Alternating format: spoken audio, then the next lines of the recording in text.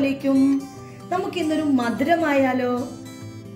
ജിലേബിയാണത് അതിന്റെ ഇൻഗ്രീഡിയൻസ് എന്താണെന്ന് നമുക്ക് നോക്കാം. ഒരു കപ്പ് മൈദ ഒരു കപ്പ് പഞ്ചസാര baking powder baking soda food colour ഒന്നര ടേബിൾ സ്പൂൺ തൈര് ഒരു ടേബിൾ സ്പൂൺ കോൺഫ്ലവർ ഒരു ടേബിൾ സ്പൂൺ ചെറുനാരങ്ങ നീര് ആവശ്യത്തിന് ഉപ്പ്. ഇനി ഇത് തയ്യാറാക്കുന്നത് എങ്ങനെയാണെന്ന് നോക്കാം. ഇനി നമുക്ക് ജിലേബിക്ക് വേണ്ടിയുള്ള ഷുഗർ സിറപ്പ് തയ്യാറാക്കാം. അതിനായിട്ട് ഞാനിവിടെ എടുത്തു വെച്ചിരിക്കുന്ന ഒരു കപ്പ് പഞ്ചസാര ഇതിലേക്ക് ഇടുക. ആ അളവിൽ തന്നെ ഒരു കപ്പ് വെള്ളവും ഒഴിക്കുക.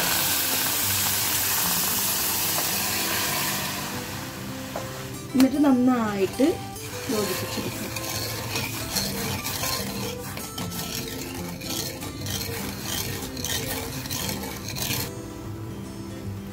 നന്നായിട്ട് ഇളക്കിക്കൊണ്ടിരിക്കും. നല്ല പതവന്നം ഒരു അഞ്ച് മിനിറ്റ് നമുക്ക് ഇത് ഇങ്ങനെ ഇതാക്കിക്കൊണ്ടിരിക്കുക. അതിലേക്ക് കുറച്ച് ചെറുനാരങ്ങ നീര് ഒഴിച്ചു കൊടുക്കണം.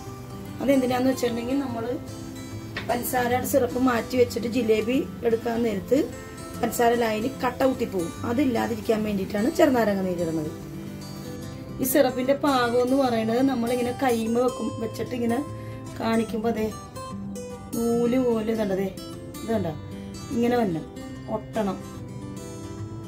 ഇനി നമുക്ക് ഇതിലേക്ക് ഫുഡ് കളർ ഇട്ട് മിക്സ് ചെയ്തിട്ട് അവിടെ വെക്കാം.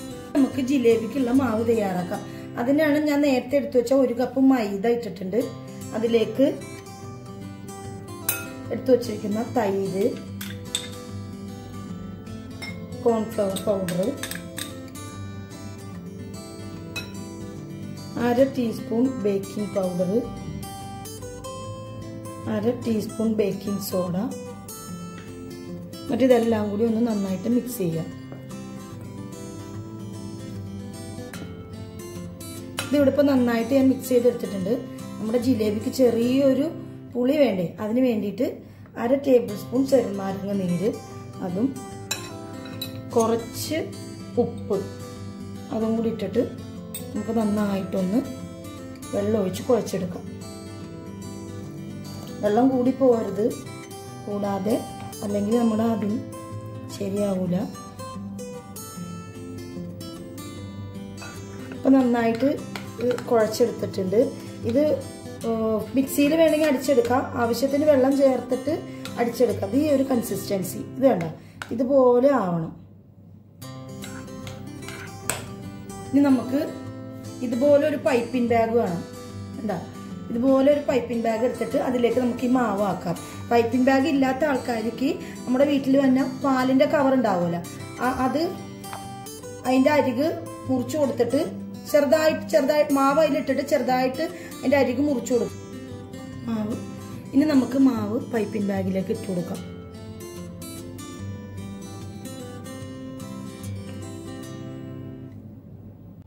ഇനി നമുക്കൊരു ഫ്രൈ പാൻ വെച്ചിട്ട് ചൂടായി വരുമ്പോൾ ഓയിൽ ഒഴിച്ചു കൊടുക്കാം എണ്ണയൊക്കെ നന്നായിട്ട് ചൂടായിട്ടുണ്ട്. ഇങ്ങനെ കൈ വെച്ച് നോക്കുമ്പോൾ എണ്ണയൊക്കെ ചൂടായിട്ടുണ്ടെന്ന് അറിയാം. നമുക്ക് ലോ ഫ്ലെയിമിലാണ് ജിലേബി റെഡിയാക്കി എടുക്കുന്നത്.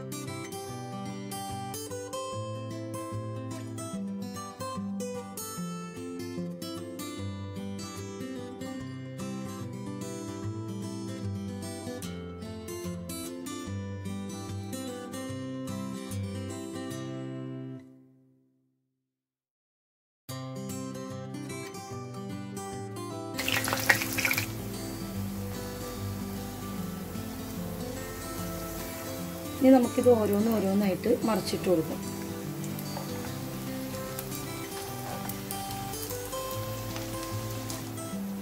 ഇനി നമുക്ക് ഓരോന്ന് ഓരോന്നായിട്ട് ഈ ചൂടോട് തന്നെ ആ പഞ്ചസാര സിറപ്പിലേക്ക് ഇട്ട് കൊടുക്കാം.